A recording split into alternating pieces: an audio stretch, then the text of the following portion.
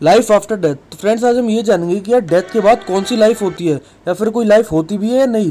Plus आज हम ये जानेंगे कि मरने के बाद हमारे कौन से ऑर्गन्स कितने टाइम तक वैलिड होते हैं, कितने टाइम तक सही रहते हैं।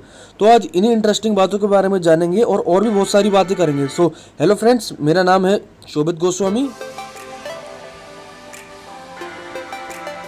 और आप देख रहे हैं अवर मिस्टीरियस यूनिवर्स चैनल तो फ्रेंड्स यार, मेरे चैनल को लाइक करना और सब्सक्राइब करना मत भूलना, इसके साथ में बेल आइकन दबा देना, जिससे आप, जिससे आपको मेरी सारी अपडेट्स मिलेगी। फ्रेंड्स आगे बात करते हैं इस बारे में।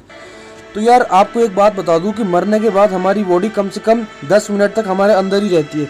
और जब वो वहाँ से जाती है ना तो हमारी बॉडी के बोन्स जो टीथ ये सारे करीब आठ से बारह घंटे तक ठीक रहते हैं अलाइव रहते हैं। और हमारा ब्रेन ज़्यादा से ज़्यादा तीन से चार मिनट तक ही ठीक रह पाता है। इन टाइम स्पैन के बाद ये सारे ऑर्गन सारे ख़त्म से हो जाते हैं। दोस्तों, मरने के बाद हम बहुत ज़्यादा अकेले हो जाते हैं अलोन हो जाते हैं और हम एक पैरेलल वर्ल्ड में चले जाते हैं।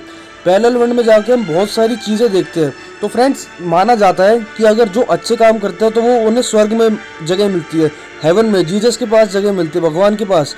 तो फ्रेंड्स ये मानने वाली बात है, क्योंकि तो स्वर्ग में हेवन में कहते हैं कि जो लोग होते हैं, वो बहुत अच्छे काम करते हैं, जो वो वही वही जा पाते हैं।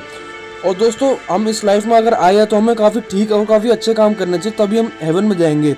तो दोस्तों, जैसे हर सिक्के के दो पहलू होते हैं, वैसे ही स्वर्ग के बाद एक नर्क भी होता है, हेल भी होता है, जहाँ पे जो आप अपने जीव होते, जो हम ह्यूमंस होते हैं, वो जाते हैं। फ्रेंड्स, ये एक ऐसी जगह है जहाँ कोई भी जाना पसंद नहीं करेगा, लेकिन ये सब अपने कर्म, अपने जो, अपने हम जो काम करते हैं पूरी दुनिया में, उस पर निर्भर करता है।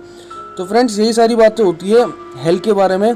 तो हम आगे बात करते हैं कि मरने के बाद दोस्तों जाते कहाँ हैं?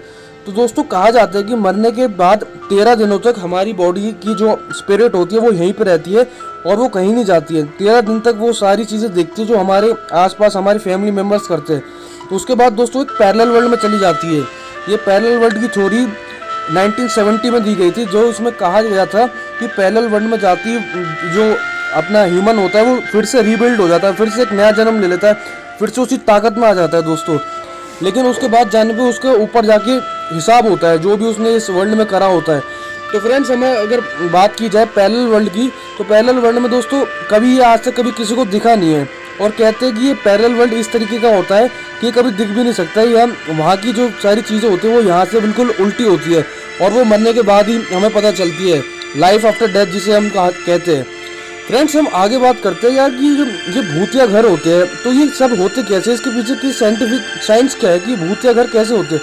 तो दोस्तों, कुछ स्पिरिट होती है जो अपने घर से, अपने प्रॉपर्टी से, जो जहाँ पे वो रहती है, उनसे बहुत ज़्यादा प्यार करती है और उनका कोई अंतिम संस्कार करने वाला नहीं होता है तो वो वहीं पर रह जाती है। तो दोस्तों, वहाँ पर रहने की वजह से उनकी स्पिरिट जो होती है वहाँ से इतनी ज़्यादा जुड़ जाती है कि वो उसी घर में रहने लग जाती है, जिसे कुछ लोग भूतिया घर भी कहते हैं। तो फ्रेंड्स कुछ यही सारी बातें थी। अगर आपको मेरी वीडियो अच्छी लगी तो लाइक करना कमेंट करना। शुक्रिया दोस्तों थैंक यू